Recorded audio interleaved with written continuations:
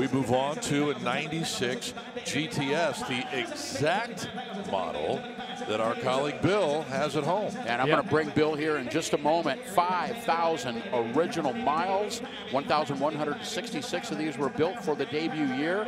450 horsepower now. A nice bump out of that 8-liter V10. All were six-speed manuals.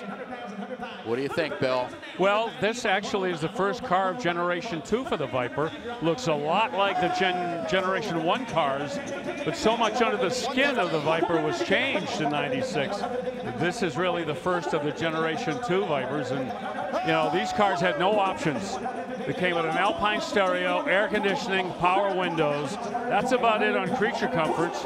Um, and it, even though they are a Generation 2 car, they still have that uh, original Viper DNA. 122.5. 122.5. I'll be right back.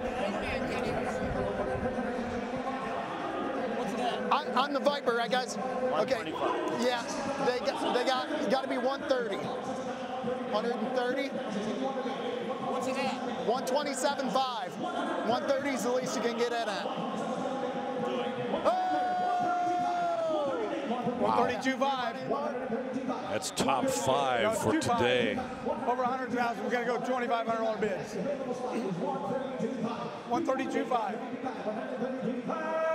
Yep, yep, yep, yep, yep. 135, sir. 135. You got me last year, man. gotcha. I mean, I sold you something. Oh! 137.5. You're all done for sure? 137.5? All right, I want to get Bill's comments. $135,000. The Mecum pre-auction published estimate, 65 to $80,000. What do you think? I think I'm going to call my brother-in-law and work on my odometer.